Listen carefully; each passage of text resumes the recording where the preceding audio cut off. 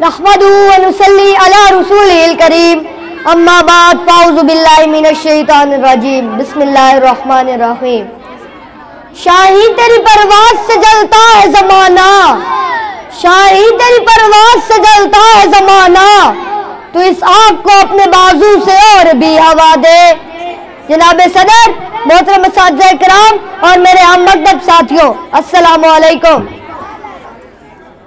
तारीख के औराक में जो नाम सुनहरी अल्फाज से रकम है, उनमें से एक नाम अलामा मोहम्मद इकबाल का भी है। हम अलामा मोहम्मद इकबाल की शख्सियत को मुख्तलिफ़ जाविया से सिराज तहसीन और अकीदत पेश करते हैं। हम उन्हें गज़ल का इमाम भी कहते हैं। हम उन्हें मुसविर पाकिस्तान और मुफक्र इस्लाम के अलकबाद से याद करते हैं। हम उन्हें फरते जज्बात से शायर मशरक भी कहते हैं।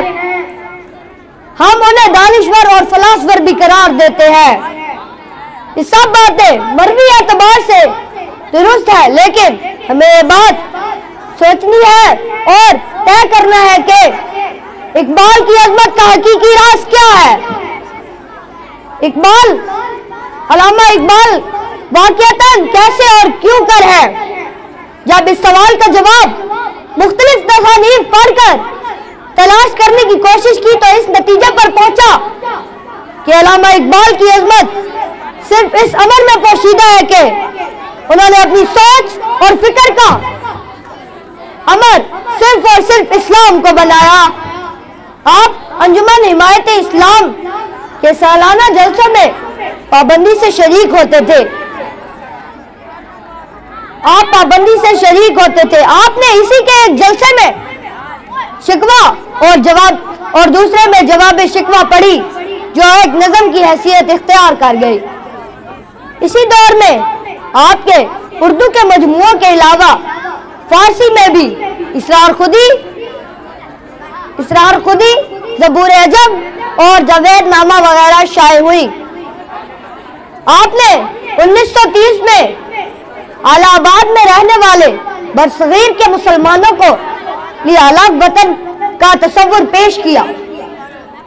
जब अलामा मोहम्मद इकबाल ने मुसलमानों के जवाल का असबाब पर गौर किया तो इस नतीजे पर पहुँचे कि मुसलमानों के जवाल का असबाब की वजह सिर्फ़ और सिर्फ़ उनकी बेअमली है और ना ही उनमें पहले जैसी हरारत रही है।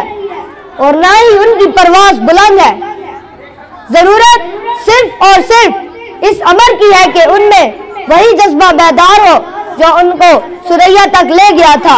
अलामा इकबाल अल्लाह के हजूर अपनी आरज़ू का इजहार करते हैं, जो इन शाहीनों को फिर से वही बालों पर दे और जो उनको फिर से अरूज, जो सुरैया तक पहुँचा दे। जवानों को मेरी आओ सहर दे। जवानों को मेरी आओ सार दे, फिर उन शाहीन बच्चों को बाल पर दे। खुदाया आरज़ू मेरी यही है, खुदाया आरज़ू मेरी यही है, मेरा नूर बसीरत आम कर दे। शुक्रिया।